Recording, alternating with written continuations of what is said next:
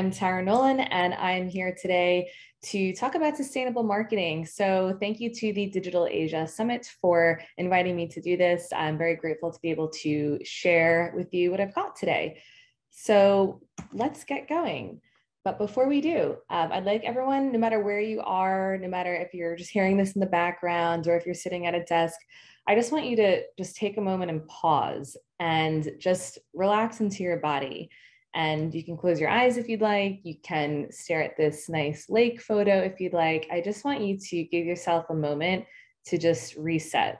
So we'll just take three long breaths together. So you can close your eyes and I'll count to three, and then we can just inhale and exhale together, inhaling through the nose and exhaling out through the mouth. So close your eyes and just, just sit into your body. Just let your shoulders drop back and relax. And on the count of three, we'll take one inhale together. So one, two, three, breathing deep in through the nose and exhaling out through the mouth. And we'll do this again just twice more at your own pace, breathing in through the nose, deep, feeling the air run up through your lungs, up to the crown of your head, and exhaling, sighing out through the mouth. And just one more time, breathing deep in through the nose, feeling that oxygen fresh through your lungs and to your body, and then slowly exhaling out through the mouth. And you can slowly flutter open the eyes and come back. And I hope you feel a little refreshed and calm and balanced now. I always do.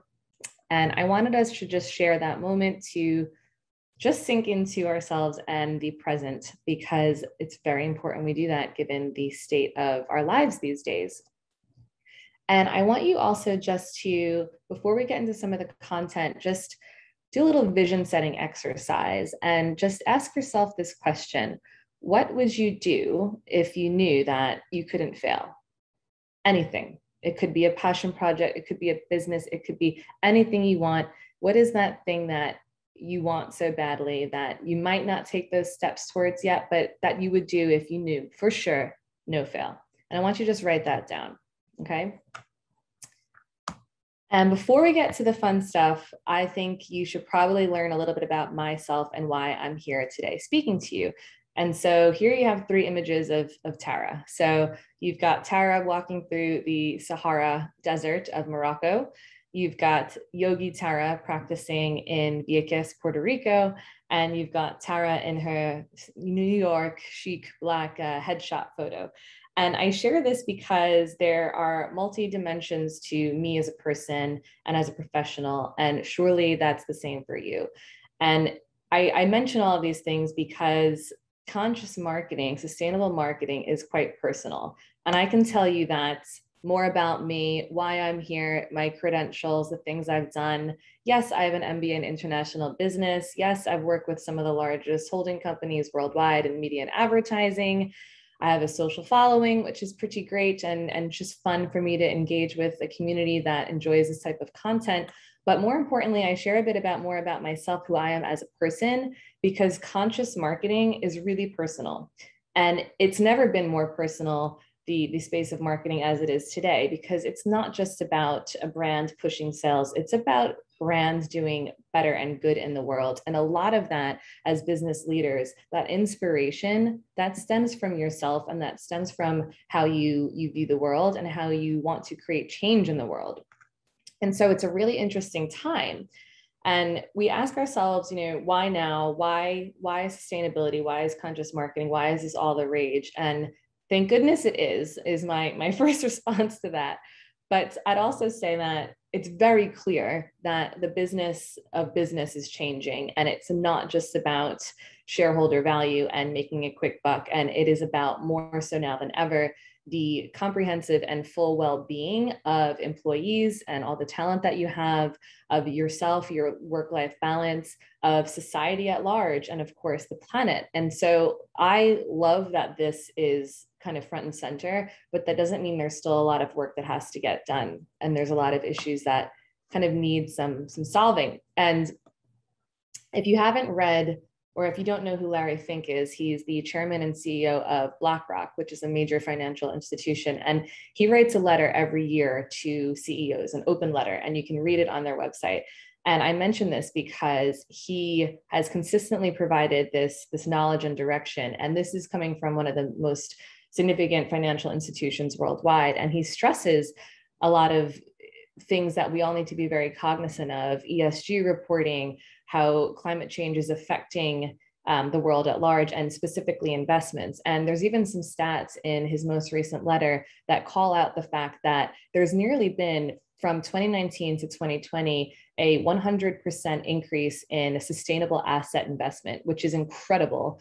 Um, and it, it's a huge signal that people care more about businesses that are sustainable and businesses that are aiming to create good in the world. So I highly recommend that you, you take a look at his letters if you haven't already. And that is one signal, coupled with the fact that Davos has also reissued their manifesto for their 50th anniversary, stressing that you know more than ever globalization digitization all of these things are really combining to offer us a new a new landscape and a new a new territory of of how we conduct business in ourselves. And so you can also take a look at that to further understand um, what that agenda and what that manifesto looks like today. And the other thing I'll just call out as well, which is a little bit more recent news, is PwC PricewaterhouseCoopers, one of the big four accounting firms, is also planning to make a significant investment in their talent to focus on ESG reporting, environmental social governance reporting. And that's again just all indicators of where we are moving as um, as, a, as a world and in the business space specifically. And so, if that doesn't clarify enough um, the importance of how we need to start shifting as businesses, I don't know really what does. But um, I will say, as a marketer, when we look to what's happening in the consumer side of things and consumer sentiment as well, there's a couple stats here that I have pulled out from the Havas Group Meaningful Brand Study, which was just produced um, in June 2021. And there's some really interesting numbers we see here. So 71% of consumers are tired of brands pretending that they want to act for good of society where they just want to make money. And I think that's really important to take note of because consumers are smart. And it's very clear today that there's a lot of washing going on. There's the green washing, there's rainbow washing. Basically, any kind of washing can exist. And that's really it's really lame on the behalf of brands to do that because if they're not standing in their authentic selves and providing information and standing up for what they believe in that's been proven through their history as a company then they're going to get called out and we as consumers will call them out and the good thing is that 74% um, of consumers think brands must act now, right? So there's a bit of pressure that's being applied more for brands to step up. And if the financial bit I just shared with you isn't enough, there's now the consumer pressure, but it's a good pressure because this is really, these are the changes that brands should be making that any business today with the scalability and resources that they have should really be using wisely to do good in the world. And so I'll just communicate some more stats from the meaningful brand study because they're really significant with almost half um, of, of brands are seeing not to be trusted by consumers. And that's that's a lot you know that's that's significant. Um, 53% of consumers are ready to pay more for a brand that takes a stand on environmental and social issues. So that's an awesome thing. And i for one stand in that category. I will certainly spend the extra money if I know that a product's sustainably made, if they pay fair wages, fair labor. So that's that's good news. And then even more good news, 64% of citizens prefer to buy from companies with a reputation that is all about purpose rather than profits. As you can see, those two are are pretty inter, intermingled and interchangeable. So that's all really good news because it lends itself to the whole theory of you know triple triple bottom line, people, planet, and profit or prosperity. And so these are good signals, um, but they're signals that still really need to, to be managed. And so the question is, um, as, as brand marketers, so how do we instill the brand trust and grow that trust and favor- favorability and increase profits when consumers have a lot of expectations? And so the approach really that I'd like to share with you today and keep in mind, this is very top level and top line for now, is really about sustainable business transformation and the musts for brand marketing.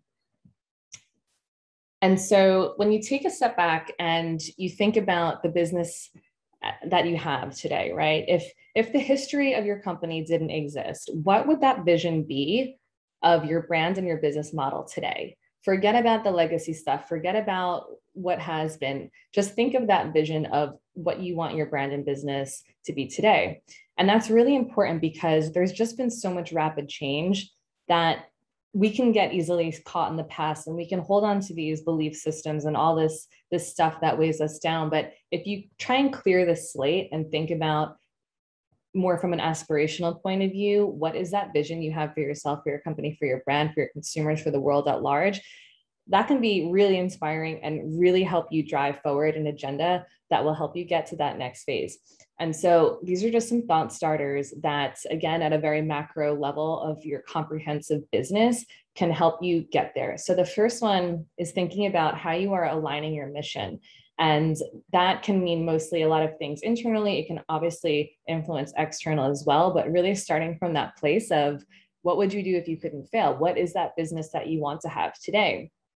And then from an internal perspective, really creating that culture of purpose. So I don't care if you have one employee to 10,000, that way of behavior and the values that you instill in your people are extremely important. And I can't stress that enough because if you're the leader of your company and it's your it's your prerogative it's your responsibility it is one of the most important things of a leader today to be able to inspire and inform and educate their people to behave a certain way that will shape the company and that it's kind of like you're the number one brand ambassador right at that stage and you just need to you need to have that that cultural operation um, in order to perform your best and to really live your truth and that applies also to all of the different units you may have within your business so any operational unit from HR to accounting to marketing, everyone should have this same ethos and belief system. And everyone should also kind of cross pollinate one another. So these different ways of, of approaching sustainability as an organization, there needs to be communication happening happening internally. There needs to be sharing of data when applicable, um, which leads me to my point of managing with metrics, right? So every different unit um, can have their more granular KPIs and can have a different approach, but ultimately all of those things need to ladder up to the larger vision that you have and making sure that you're activating accordingly and then extending those values to the digital realm. So many companies today will do specific reports focused on sustainability or CSR. And that's a really great thing because consumers want to know, as per the stats we saw a few moments ago, what the company is doing. What strides are you making to be a more responsible and ethical and sustainable business? And so the more transparent you can be, the better, because not only are you you are applauding your efforts and sharing them, but it's kind of a way of advertising as well, just staying top of mind. It's this frequency of messaging that, hey, look, like we've reduced our carbon footprint by, you know, 2% in the past six months by doing XYZ activities. Great. And that's kind of like, it's kind of chic these days to do that. And we care, right? So just considering some of these things from a, a more macro level, um, how your business can holistically approach sustainability is important. But given the nature of this presentation being a little bit more on the marketing side, I also want to explain how a lot of these things translate specifically for brand marketing. And so from a branding perspective, there are different kind of functions and, and pillars, if you will, that you need to consider when shaping a strategy and kind of reconfiguring your business. And so understanding specific fun- functional, personal, and collective benefits that people seek from a brand in a given category is super important. And I'll get to that in a minute. Also, recognizing the deficit and capitalizing on that for your competitive advantage. You don't want to just follow the leader, you want to be the leader and you want to distinguish yourself. So maybe something's trending and maybe a competitor is doing a great job with making it rain for whatever whatever that might be but you don't want to just do that because they're doing that. So just keeping keeping tabs on who's doing what is really important and, and getting in when the, the moment's right. Um, thirdly unlocking that authentic role for your brand to play in a landscape that is completely different from what it was you know even yesterday.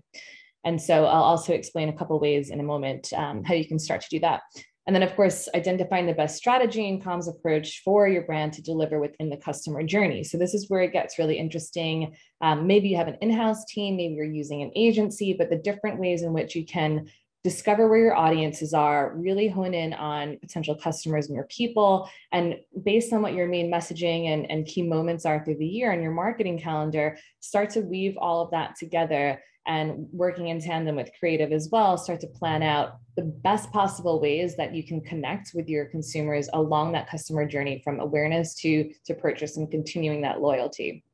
And then, of course, one of my favorite things leveraging creativity as an accelerant for shareholder value because creativity is an amazing amazing skill and it can take many different forms. It doesn't have to be the typical you know creative director art director. An idea is an idea and good ideas can come from anywhere. You've probably heard that many times but i really do believe that to be true and i'll give you an example um, of something that's been recently brought to my attention of uh, how a great idea can can really be put to work so first starting with this conscious benefit. So I mentioned that there's these three pillars. So we've got personal, collective, and functional. And the personal benefits really come into play when a brand is adding value to someone's life. So this can be on an intellectual level, maybe it's physical fitness, it's something that is changing my personal life for better. So that's the first pillar. The second, we have collective. So it's the things that a company does, its behavior, its actions, all these different things that respond to what's happening at society with society at large at any given time. So from what we've seen in the past year, we have a lot to choose from, but social justice, the environment, um, our health and wellness, our mental health in particular right now. So that's kind of this bucket of collective benefits that brands can can dabble in. And then the third, we have the functional. So it's really how does that product or service of yours deliver and how is it being presented to the consumer in a way that they can interact with or or use, right? So it's it's quite more on the technical side. But all these things are really important because they all address different needs on the consumer side. And I'll give you just some examples. These probably fit more so in the functional to collective bucket, if you will, but these are all a few just different practices that just as examples to be clear um, on different ways that you can you can activate so zero waste packaging local or regional production fair wages um, neutral footprints, water conserving. So these probably aren't shocking, but just to level set, these are just some ways that a brand can, from an operational standpoint, more specifically, really make the changes necessary to deliver on a promise for good. And if there's ever a point where we need inspiration, we have the wonderful United Nations SDGs, the Sustainable Development Goals. And I constantly reference this as a wonderful framework for any marketer to look at and take a hard look at your business and see where you stand. So there's, like I said, 17 goals. They are best applied when they work together. So there's a, really a lot to choose from here. And there's a lot of different ways that you as a brand can authentically tap into certain needs that have been identified by the United Nations as the 2030 global goals that we're working to achieve. So it's an excellent starting point if you are, like I said, in need of some inspiration or guidance on where you should best place your efforts. Um, but really, they're they're all equally important. And the one that I will call out as a, a really key area of opportunity is number 17, which is partnerships for the global goals, because maybe you feel like your company is too small to make a significant change. That's probably not true because there's always an opportunity for collaboration for the greater good. And you probably have some resources that someone else needs, and someone else probably has some resources that you need. So this is where kind of creativity can play a role as well and understanding what you what value you bring to the table and if you can identify on this list or in any of the sub targets of these goals what you can offer and what you can bring to the table working in tandem with a partner that's where some real magic stuff can happen. And so i'd be happy to share some of those examples um, in the future if anyone's interested in reaching out. But for the time being i would really look at this at the SDG framework as the ultimate starting place um, and, and continuing to, to draw inspiration from because maybe you're already focusing on one and excelling there, but there's a whole other you know slew of really significant important targets to consider. And on the, the note of um, further creativity and the power of creativity, this is an example of the most recent um, Sustainable Development Goal Cannes Lion winner. And we, I was, as you probably saw on a slide, I was on the jury this year, and we evaluated work not only from um, the past, well, the past two years, which is odd because that never happens, but for obvious reasons, we had two years of work. And the SDG, the Sustainable Development Goal Lion, was introduced just two years ago. And the 2030 calculator was awarded the Grand Prix by myself and my fellow jurors because it created such an opportunity um, to make real impact and real change on a highly scalable level. And so 2030 Calculator is a, a, a, product, it's an app that many brands have already been onboarded to use from Allbirds to IKEA, and it calculates the carbon footprint of goods. Uh, doesn't do services yet or experiences. I'm sure they will get to that. But why it's so significant and why I bring it out as a, a creative idea rooted in sustainability is because it, it simply is. And it's quite easy to use. And it just makes back to the measurement and transparency point of everything so simple for consumers to understand. If you're buying this pair of shoes, like this is what's going into it, right? So they source data from all sorts of different places and it's just an incredible tool that anyone can use and the more brands that will be onboarded to to use this, the more transparent it'll be across the board from a consumer standpoint, what we actually consume and what's the carbon footprint of that. So it's a really great creative tool and I'm excited to see what they do next. And speaking of on one last point, when we look at measurability, there's many different ways that you can do this, but this is just a very simple um, scenario of how measurability has changed from traditional reporting being as a business, okay, what's the value of our inputs and how does that translate to the outputs to really looking ahead into things that matter from a sustainable perspective. So the outcome being more so aligned with things like the 2030 calculator. What's the outcome in terms of carbon emissions, right? What's the impact of our efforts on society and, and how is that changing you know our narrative as a brand or more importantly how is that actually shaping the, the role? Like how are we moving as a, as a society in general? And then of course um, lastly you can also consider the value of that impact. And so you can look at you know consumer sentiment or or different kinds of metrics aligned with what your your your industry really stands for and is. But this is just a, a simple example to show you that traditional reporting has really changed and there's a lot of different territories that you can tap into to better understand um, really where where you are as a business today and then be able to share that too and communicate that freely. And so i will leave you with this this one thought um, looking back on how we considered you know what is that thing that you would do if you knew you couldn't fail and if there's one thing you take away from what I've just talked about today, I want you to, to consider yourself as a resolutions person and to consider yourself as someone that has the skill sets and the talents to create positive change in the world. And maybe that feels a little tricky to figure out, but just knowing that there's tons of opportunity out there and there's tons of people that are on board to co-create with you as well um, and really looking to those inherent talents and skills and, and really who you are as a person to be able to bring that out in the world and in the work that you do every day and the businesses that you operate um, and manage and be able to use your talents for good. And so I will leave you with that. And um, if you have any questions or if you'd like to interact, there is some contact info here. Um, but that concludes what I have to share with you today. Thank you so much, Tara. That was very inspiring, I must say. So I have like two, three questions for you. So first question, as you rightly said, that a lot of brands, they are talking about sustainable marketing, but uh, the, at the end, they're just making money from it. Whereas a lot of small brands I see these days, they are working on sustainable marketing or sustainability, but they are not able to market themselves. And as a result, they are, they are not able to sustain themselves. So what, what is your advice to these small brands? Those who are working question. on sustainability? Yeah, it's a great question. Um, and it's kind of a tricky one because every business is different for a variety of reasons.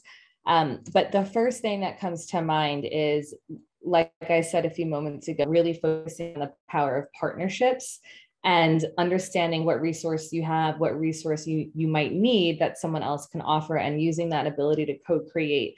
And so it's it's kind of tricky, you know, when it comes to marketing you know are you talking about a social media campaign and content creation and creativity? Are you talking about email marketing management? Or you know there's a lot of different levers that you can you can um, lean into but also considering that from a budget perspective if this is a more financial skewing question there is a lot of different tools out there that you can use to create content and do it in a not only authentic way but a way that affords you um, the opportunity just to just to get your your word out and your brand out there. And so it's really more so rooted in social media i would say the opportunity to be able to deliver. And i don't like to say it's free because you know your your time costs something right? And so it's it's not like you're going to be paying someone to, to manage these things but ultimately if you're the the sole entrepreneur you're going to be the one creating that content and that that does come with the cost because it's your time. However it is probably one of the best ways that you can begin and establish yourself to create that groundswell that you're looking for. And a couple quick ways, just tactics I'll I'll share with you. Um, you know, if you're using Instagram, doing an Instagram live with someone, saving that that video on your profile, um, sharing reels. Everyone loves reels on Instagram now, so you can easily do some of those and inform people of why your brand is special, why your product is great. Share some of maybe some examples of how you're supporting, you know, your your local economy or or things like that as it re- relates to your business and your brand. Um, you can also use social audio these days. That's a really popular space to to play in. So Spotify's Green Room or Clubhouse as well. And I find those forums to be um, quite engaging right now because they are social audio is kind of a new um, media territory, and there's a lot of collaboration happening across those platforms. But that's the key word is the collaboration element if you're a small brand and looking to others for support um, whether they're like-minded brands or brands with the same values and mission and overall goal and being able to through social share audience as well. So getting exposure on someone's platforms that might have like 20k more followers that's great because then you're being exposed to that audience that can then come over to you. And the last thing i'll say when it comes to to social is always being very clear of the mechanics you have going on on the back end and if there's a clear call to action for the consumer. So maybe you do some kind of social audio event and maybe there is a promotion that you want to share within that segment or maybe there is a hey head over to my facebook or my instagram or my twitter and you can sign up for our email newsletter list. There's going to be promotions happening all the time blah blah blah. And that way you're taking audience from platforms that you don't own and taking them onto platforms that you do own such as an email newsletter list. That's quite helpful. A lot of insights. Thank you so much for that. And yeah. so my another question what is your advice to the people who want to make a career in sustainable marketing? Because I don't think that a lot of institutes or any institute is offering that degree program or that course. So, how to go about it?